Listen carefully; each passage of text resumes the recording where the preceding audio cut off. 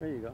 Okay, I want to thank everybody for coming today uh, to Sandy Point Beach, this beautiful parking lot here on West Haven Shoreline. This parking lot a few years ago was uh, just a gravel uh, pit. It's something that a lot of volunteers spent a lot of time fixing up, raising money for grant money, um, and just making it this beautiful site it is today. And I just want to say how appalling it is to have such an incident happen here at, at this site. Um, I'm here today to call on the state delegation to stiffen the crimes, uh, the penalties for animal cruelty crimes. We had three incidences in the last uh, two weeks here in. We've had,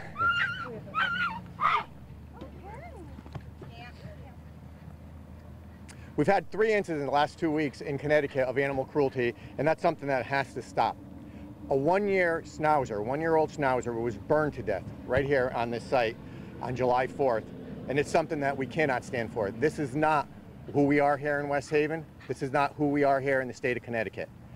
Um, the police are doing a phenomenal job trying to apprehend the perpetrators of these crimes, and we have many volunteers here and organizations that are raising money for a, a reward to catch these people.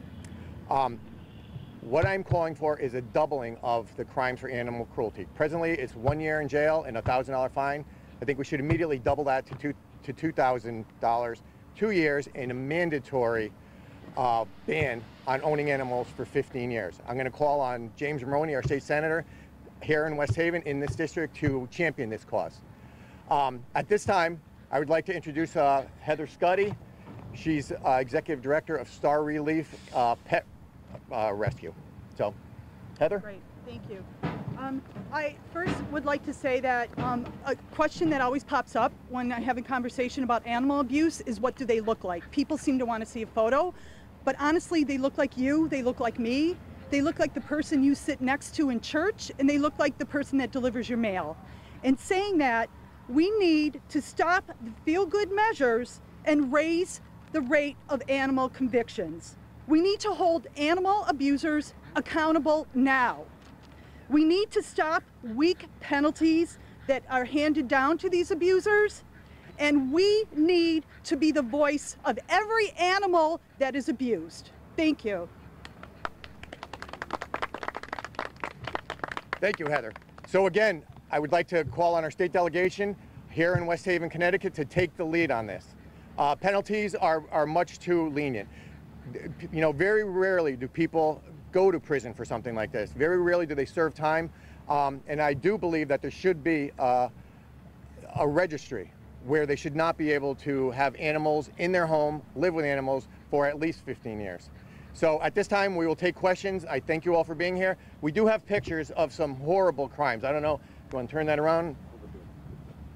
We have a, a burned animal right here. That, that is something that we cannot stand. We can't stand to allow this to continue to happen without there being very, very stiff penalties.